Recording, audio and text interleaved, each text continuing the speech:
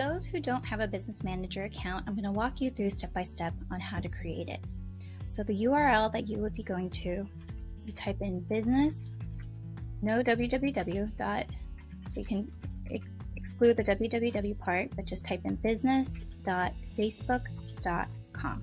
And when you type that in, it'll take you to this page. If you're not logged in, please log yourself in. Click on create account.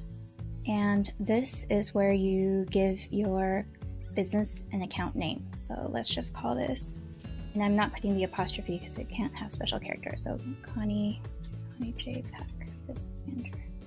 Actually, let's do Connie Pak. And Connie at ConniePak.com. Let's do that. Connie Business Manager. Then you go into your country, United States, address, business phone number, and website. And you pick promote its own goods or services, provide services to other businesses. Then we have to confirm the email. So log into my email. All right, so I'm logged in. As you can see here, Facebook, confirm your business email. I'm gonna go ahead and click on that, confirm now. So now I've confirmed the email for Facebook. That back over. So your email has been verified. Perfect, thank you. And so as you can see from the earlier video of how it looks like with the assets and things, this is very empty at the moment. And so you go under pages, there's nothing here. You go under ad account, there's nothing here. So everything is brand new. This is where you have to link things. So for pages, you have to add. Um, so your business already owns the page. So whichever email account login that you're using, which is your own Facebook login, if your page th that you want to add, you own that page, um, you can go ahead and do that. If you want to just request access to the page, like it's a, another page that you're managing, then you would need to click on this one. And if it's a new one that you, you would like to create, you'll click on this one. So let's go ahead and request access. I want to add a page to add tucked in marketing, add page.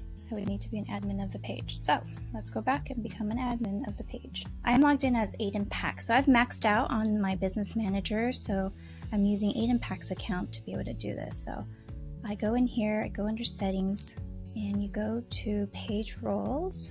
I need to add Aiden, Pak, admin, and add. They require a lot of passwords during this process, as you can imagine. So much fraud happening these days. So once you've confirmed your email, now it's time to add your page in your ad account. So let's go ahead and request access to a page.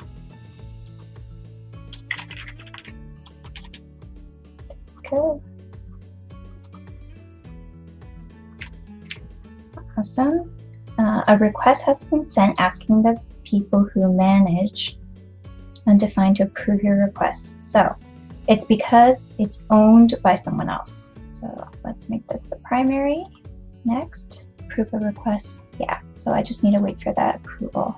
And so ownership request. So it's asking if I can change the ownership and it's request to respond to request. So let's go ahead and do that. Approve request. And of course, you're going to ask for passwords frequently when you do things like this. The request for access is pending should clear up. Let me refresh the screen. There we go. So now we've got our page. Let's go ahead and add our ad account. Like to create a new ad account actually. And for those who have never run ads before, you may want to create your own ad account. So uh, put in the ad account name, the currency, all that stuff. Let's see, ad account is for this. I am going to have admin access. Um, as you can see, when you click over admin, you get access to everything above it. So it's just easier to click go straight to admin than to toggle everything over. Let's close.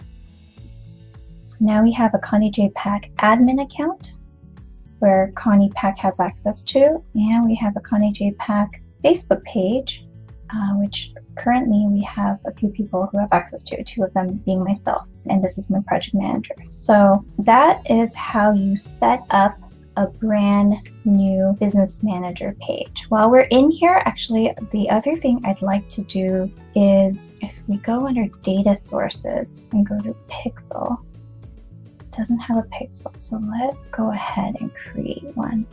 So let's create, check your website. So that'll be my website. So great.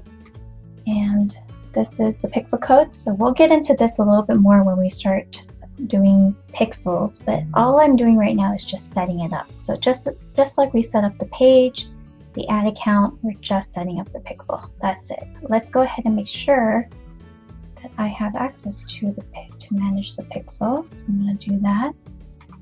So basically your pixel under people, you should see your name, ad account, um, whatever at name of the ad account, you should see your name. And lastly, pages, you should see your name.